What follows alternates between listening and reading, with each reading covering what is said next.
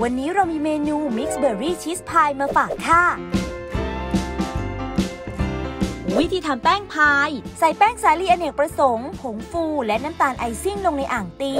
เคล้าให้เข้ากัน เติมเนยสดชนิดเค็มแล้วเปิดเครื่อง ตีด้วยความเร็วต่ำ ตีจนส่วนผสมร่วนเป็นเม็ดทราย เติมนมข้นจืด ตีต่อจนส่วนผสมจับกันเป็นก้อน พักแป้งไว้ประมาณ 2 ชั่วโมง จากนั้นรีดแป้งพายออกเป็นแผ่น กรุแป้งพายลงในพิมพ์ที่เตรียมไว้ ตกแต่งขอบให้สวยงาม ใช้ซ่อมจิ้มให้ทั่วค่ะ นำเข้าเตาอบที่อุณหภูมิ 400 องศาฟาเรนไฮต์นานประมาณ 10-12 นาทีเตรียมไว้ค่ะ วิธีทำครีมชีสใส่เจลาตินและน้ำร้อนลงในภาชนะ คนจนส่วนผสมละลายเข้าด้วยกัน เตรียมไว้ ใส่ครีมชีสและเนยสดชนิดเค็มลงในอ่างตี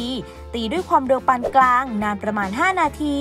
เติม mixed berry fruit based preparation ตรา Nature Taste และนมข้นจืด ตีจนส่วนผสมเข้ากัน ใส่เจลาตินที่ละลายไว้ ตีต่อจนเป็นเนื้อเดียวกันแล้วปิดเครื่องตักครีมชีสลงในพายที่อบสุกประมาณ3ส่วน4ของพิมพ์ แล้วปัดหน้าให้เรียบ นำเข้าแช่เย็นจนส่วนผสมทรงตัว วิธีทำหน้า mixed berry ใส่ผงวุ้นและน้ำลงในภาชนะนำขึ้นตั้งไฟ คนตลอดเวลาจนส่วนผสมเดือดทั่ว แล้วปิดไฟ เติม mixed berry fruit based preparation ตรา Nature Taste คนจนเข้ากันดี แล้วตักส่วนผสมหน้า mixed berry ลงบนพายที่มีครีมชีสจนเต็มนำเข้าแช่เย็นจนส่วนผสมทรงตัว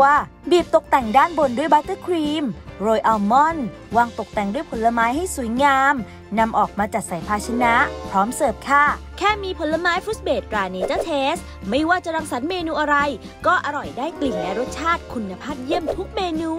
ผลไม้ fruit based ตรา Nature Taste ยังมีให้เลือกหลากหลายกลิ่น สามารถสั่งซื้อออนไลน์ได้แล้ววันนี้